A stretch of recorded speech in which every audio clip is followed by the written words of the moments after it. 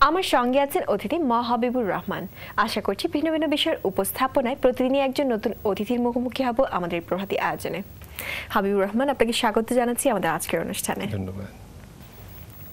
গত চব্বিশ এপ্রিল থেকে তিরিশ এপ্রিল পর্যন্ত সারা দেশে পালিত হচ্ছে গ্লোবাল অ্যাকশন সপ্তাহ দু সবার জন্য শিক্ষা কার্যক্রমের অংশ হিসেবে গ্লোবাল অ্যাকশন সপ্তাহ দুহাজার ছয় উপলক্ষে গুণগত প্রাথমিক শিক্ষার জন্য প্রাক প্রাথমিক শিক্ষার গুরুত্ব প্রসঙ্গে কথা হবে আজ। আমাদের আজকের অতিথি সেভ দ্য চিলড্রেন ইউএস এর শিক্ষা কার্যক্রমের পরিচালক মা হাবিবুর রহমান। অতিথির সাথে আলাপ ছাড়াও থাকছে অনুষ্ঠানের নিয়মিত পরিবেশনা। আশা করছি ভালো লাগবে আপনাদের।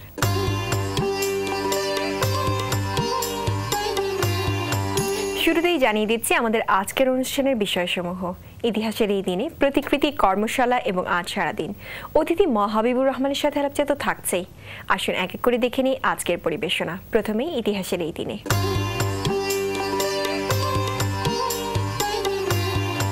মানব সভ্যতার প্রগতিতে ঘটে যাওয়া ইতিহাসের কয়েকটি উল্লেখযোগ্য বিষয় নিয়ে সাজানো আমাদের নিয়মিত আয়োজন ইতিহাসের এই দিনে।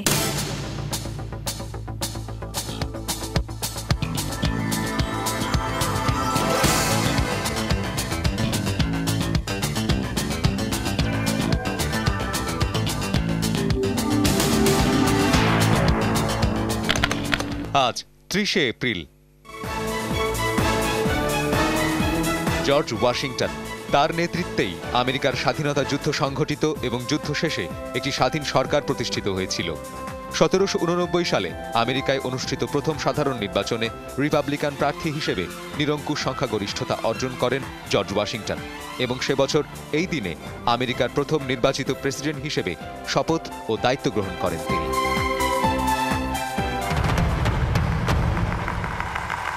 অ্যাডলফ হিটলার বিশ শতকের সবচেয়ে আলোচিত ও নিন্দিত জার্মান নেতা। দ্বিতীয় বিশ্বযুদ্ধের হোতা বলা হয় হিটলারকে। কিন্তু দীর্ঘ আগ্রাসন প্রতিহত হলে উনিশশো পঁয়তাল্লিশ সালে রুশ ও মার্কিন মিত্রবাহিনী প্রবেশ করে জার্মানিতে। পতন টের পেয়ে বার্লিনের এক ভূগর্ভস্থ বাংকারে আশ্রয় নেন হিটলার। উনিশশো পঁয়তাল্লিশ সালের এই দিনে বান্ধবীর বিষপানে আত্মহত্যার পর মাথায় রিভলভার ঠেকিয়ে আত্মহত্যা করেন অ্যাডলফ হিটলার।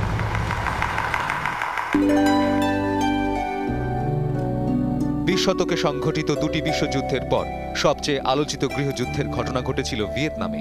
উনিশশো তিয়াত্তর সালের সাতাশে জানুয়ারি যুক্তরাষ্ট্র মার্কিন সৈন্য প্রত্যাহারে বাধ্য হলে উনিশশো পঁচাত্তর সালের এই দিনে দক্ষিণ ভিয়েতনামের রাজধানী সাইগন শহর দখল করে নেয় উত্তর ভিয়েতনামি বাহিনী। উনিশশো ছিয়াত্তর সালের দোসরা জুলাই দুই বিভক্ত অংশের পুনরেকত্রীকরণ ঘটে এবং প্রতিষ্ঠিত হয় অখণ্ড ভিয়েতনাম।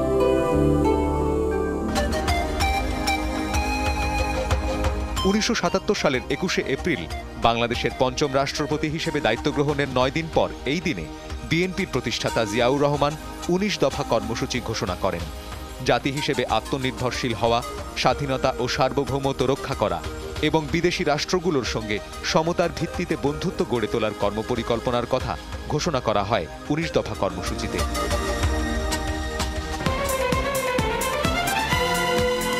বিয়েট্রিক্স উইলহেলমিনা উনিশশো সালে তার আঠারোতম জন্মদিনে তাকে নেদারল্যান্ডের পরবর্তী রানী হিসেবে ঘোষণা দেয়া হয়। উনিশশো সালে রানী জুলিয়ানা সিংহাসন ছেড়ে দিলে রানী হিসেবে অভিষিক্ত হন বিয়েট্রিক্স। প্রিয় দর্শক ইতিহাসের দিনে ঘটনাবলী দেখে ফিরে আসছি আজকের অতিথির কাছে। হাবিবুর রহমান আচ্ছা প্রাক প্রাথমিক শিক্ষা বলতে আমরা কি বুঝি? প্রাক প্রাথমিক শিক্ষা বলতে আমরা যেটা বুঝি সেটা হলো প্রাথমিক শিক্ষা শুরুর আগের যে অংশটুকু আগের যে পড়ালেখার আয়োজন। এটা সীমিত আকারে যদি আমরা চিন্তা করি তাহলে এটা শুধু প্রাক প্রাথমিক বিদ্যালয়ে যেটা আমরা ছেলে মেয়েদের পড়াশোনার ব্যবস্থা করি। কিন্তু যদি আমি বৃহত্তর বিস্তৃত আকারে চিন্তা করি তাহলে এখানে দুটো দিক আছে। একটা হলো প্রি স্কুলিং যেটাকে আমরা বলি প্রাক প্রাথমিক বিদ্যালয়ের যাওয়ার আগের যে প্রস্তুতিমূলক কাজ।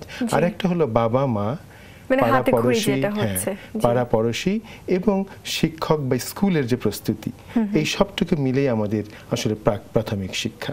তো এখানে শুধু যেমন শিক্ষার্থীর একটি ভূমিকা আছে তেমনি বাবা মার ভূমিকা আছে তেমনি স্কুলের ভূমিকা আছে আছে শিক্ষকের ভূমিকা। তো এই এগুলোকে যেমন আমরা এখানে বলতে চাই যে যেমন কিন্ডার গার্ডেন আমরা যেরকম দেখি যে গ্রেড ওয়ানে ওঠার আগে তার যে স্তর কতগুলো play group kindergarten one grade two তারপরে স্ট্যান্ডার্ড ওয়ান ঠিক এরকমই আমরা চিন্তা করি। দেশময় যেখানে এই প্রাক প্রাথমিক শিক্ষার জন্য এরকম নানান প্রতিষ্ঠান নানান রকম কার্যক্রম আছে।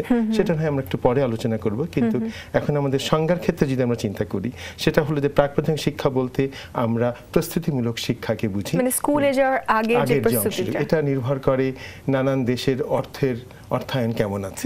কোথাও এটা তিন বছর কোথাও চার বছর। তো আমাদের দেশে আমরা যেখানে শুরু করছি সেটা এখন দু থেকে দু বছর কথা হচ্ছে, কোথাও এক বছর। আচ্ছা। আর কথা বলছি আপনার সাথে? সুপ্রিয় দর্শক, অতিথির সাথে কথা হবে আরও। পুরো অনুষ্ঠান জুড়ে তিনি আমাদের সঙ্গে আছেন। কিন্তু তার আগে দেখে নেওয়া যাক আজকের প্রতিকৃতি।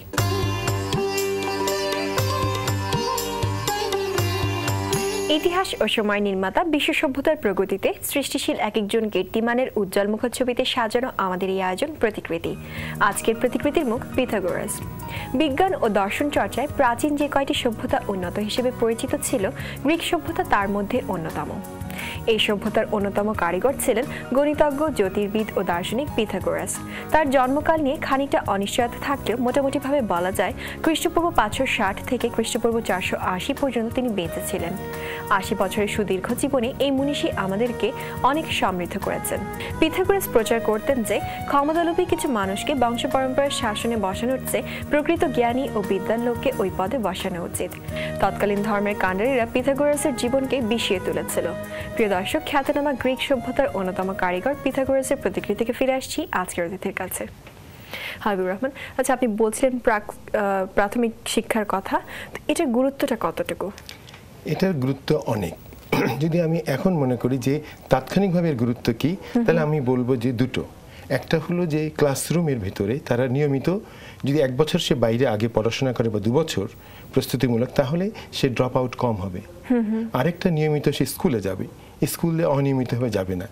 এই এটা হলো তাৎক্ষণিকভাবে যে ফল। আর যদি আমি দীর্ঘমেয়াদী চিন্তা করি তাহলে প্রাক প্রাথমিক শিক্ষাকে আমরা মনে করি যে এটা হলো মানুষের যে গুণগত শিক্ষার যে মান তার একটা ভিত। জি। এটা যদি আমরা এখন ভালোভাবে তাদেরকে প্রশিক্ষণের মধ্যে আনি শিক্ষার ভিতরে আনি তাহলে তাই সে কখনো ড্রপ আউট হবে না এবং তার গুণগত মানের ভিতটা দৃঢ় হবে।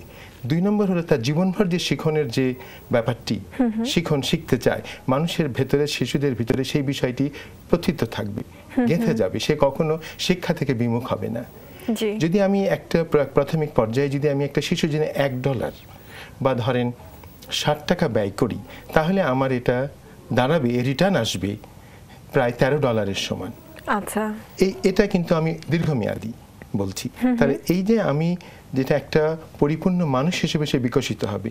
তার যে বুদ্ধিভিত্তিক বিকাশ তার শারীরিক বিকাশ তার ভাষাতাত্ত্বিক বিকাশ এবং তার যে মনো সামাজিক বিকাশ সেগুলো কিন্তু এই সময়ে হয়।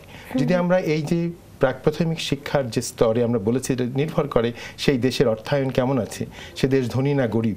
আমাদের দেশের মতন এত গরিব দেশ হয়তো এত সম্পূর্ণ সম্ভব হবে না যে চার বছর পাঁচ বছরের। কিন্তু যদি আমরা যাই করি না কেন যেটুকুই আমরা ইনভেস্ট করি না কেন তার রিটার্নটা অনেক বেশি আসবে। সেজন্য এর গুরুত্ব অনেক। আর কথা বলছি আপনার সাথে? দর্শক মন্ডলী আমাদের এবার আয়োজন মেলায় থাকছে কর্মশালা।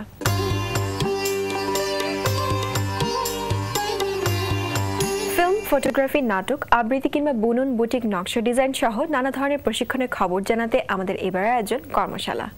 প্রাঙ্গণে মোড়ের তৃতীয় প্রতিষ্ঠাবার্ষিকী উদযাপন উপলক্ষে লোকনায়ক শিরোনামে নতুন নাটক মঞ্চায়নের জন্য প্রাঙ্গণে মোড় আয়োজন করেছে তিন দিনব্যাপী প্রযোজনা ভিত্তিক নাট্য কর্মশালা ও সেমিনার।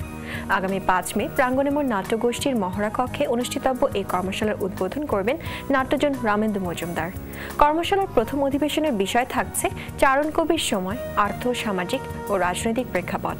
দ্বিতীয় অধিবেশনের বিষয় হিসেবে থাকছে গানে গানে চারণ কবি মুকুন্দ দাস। প্রিয় দর্শক কর্মশালার খবর শুনে ফিরে আসছি আজকের অতিথির কাছে। আচ্ছা আমরা প্রাক প্রাথমিক স্কুলের কথা বলছিলাম শিক্ষার কথা বলছিলাম তো আমাদের দেশে এটার কি অবস্থা? আমাদের দেশে যেরকম প্রাক প্রাথমিক শিক্ষার তেমন কোনো প্রসার এখনও ঘটেনি। আমাদের কিছু শহরের কিন্ডারগার্টেন স্কুলগুলোতে এর ব্যবস্থা আছে কিন্তু দেশের যে সরকারি যে প্রাথমিক বিদ্যালয় বেসরকারি যে প্রাথমিক সেখানে কিন্তু এর খুব ব্যবস্থা নেই। গুটি কয়েক এনজিও তাদের শিক্ষার ভেতরে এই প্রাথমিক শিক্ষা প্রতিষ্ঠিত করেছে কিন্তু সেটা প্রয়োজনের তুলনায় খুবই অপ্রতুল। সেজন্য এর একটা বড় সুযোগ রয়ে গেছে। এখন আমরা কথা বলি যে আমরা কত বছরের প্রাক প্রাথমিক শিক্ষা আমরা চালু করতে পারি। যেখানে সুযোগই নাই সেখানে তো আমরা শুরু করতে পারি হয়তো এক বছর দিয়ে। যদি দেখি যে না এটা আমরা সাড়া পাচ্ছি এবং এখানে ভালো ফল আসছে। বিশ্বের সবখানে এর থেকে অনেক বেশি ভালো ফল আসছে রিটার্ন আসছে। কিন্তু আমাদের দেশে যেহেতু এটা আমরা শুরু করিনি আমাদের দেশে যেটা দেখা যাচ্ছে যে নানান রকম সুযোগ সুবিধা যদি আমরা চিন্তা করি তাহলে মাত্র এক অষ্টমাংশ যাদের এই বয়সের শিশু মেয়েদের এক অষ্টমাংশ এই সুবিধাটা পাচ্ছে। বাকিরা কিন্তু এখনও এর সুযোগ পাচ্ছে না। সেজন্য এটা এখানে প্রতিষ্ঠা করা অনেক সুযোগ রয়ে গেছে। এবং এটা যদি সরকারের ভিতরে সরকার তার কার্যক্রমের প্রতিটি স্কুলে যদি এটা চালু করে তাহলে সেই ক্ষেত্রে আমরা এখন যেটা বলছি আমরা যে গুণগত শিক্ষার জন্য আমরা প্রচুর পয়সা খরচ করতে চাচ্ছি। সরকার বড় বড় প্রকল্প নিয়েছেন। যেটা আমরা পিডিপি টু বলছি প্রাথমিক শিক্ষা প্রকল্প দুই। তার আওতায় আমরা প্রায় এক দশমিক আট বিলিয়ন অর্থ আমরা এখানে বিনিয়োগ করছি সরকার এবং দাতা গোষ্ঠী। কিন্তু এটা যদি আমরা প্রাক প্রাথমিক শিক্ষার টা যদি প্রতিষ্ঠা করতে পারি এবং এটা যদি খুব ডিফাইন্ড একটা কিছু আমরা কাজ দিতে পারি যেরকম এনজিওদের আছে এরকম কোথাও দুই বছর আছে কোথাও তিন বছর আছে কোথাও এক বছর আছে যেটি আমরা করতে পারি না কেন এটা আমাদের অর্থের সংকলন অনুযায়ী যদি আমরা করি তাহলে আমরা এই দেশে আমরা অনেক কিছু থেকে আমরা বেঁচে যাব অনেক অর্থর অপচয় থেকে আমরা আমরা দেশকে বাঁচাতে পারব। এই মুহূর্তে কীভাবে শুরু করা উচিত বলে আপনি মনে করেন? কোন জায়গা থেকে আমাদের শুরু করা উচিত? আমরা যেটা আমরা যেটা আগে একটু আগে বলছিলাম সরকারের যে বৃহত্তর প্রাথমিক শিক্ষা উন্নয়ন প্রকল্প দুই তার ভেতরে প্রাক প্রাথমিক শিক্ষার বিষয়টি অন্তর্ভুক্ত আছে। এখন সরকার উচিত হবে যে নতুন করে কোনো কিছু না দাঁড় করিয়ে দেশে যে সমস্ত বিভিন্ন বেসরকারি প্রতিষ্ঠানের যে অভিজ্ঞতা আছে সেগুলোকে সরকার এটাকে কাজে লাগাতে পারেন। তো সেখান থেকে শুরু করতে পারেন। এটা নির্ভর করবে যে সরকার তার ব্যবস্থা করছে ঠিক আছে। কিন্তু এটা এমন একটি বিষয় যে এটা সরকারের একার পক্ষে সম্ভব নয়। এর জন্য বেসরকারি পর্যায়ে উদ্যোগ নিতে হবে উদ্যোগ নিতে হবে কমিউনিটি পর্যায়ে। জনসমাজ ভিত্তিক উদ্যোগও দরকার। যদি আমরা মনে করি যে এই বিষয়টি আমরা চাই এবং এটা হতে হবে। তার কারণ এটা এত প্রয়োজনীয় জিনিস যে এটা মানুষের জীবনভর শিক্ষণের একটা ভিত তৈরি হবে। সেই জন্য যদি এটা তার সারা জীবনের শিক্ষার ক্ষেত্রে এটা যদি একটা ভিত হয় তাহলে কেন আমরা সেখানে অর্থে বিনিয়োগ করব না? তো সেই জন্য আমরা চাই যে এই সময়ের ভেতরে সরকার যদি প্রথমে অর্থ নেয় ঠিক আছে সরকার শুরু করুক এক বছরের তারপরে এটা দু বছরের করুক তারপর তিন বছরের করুক।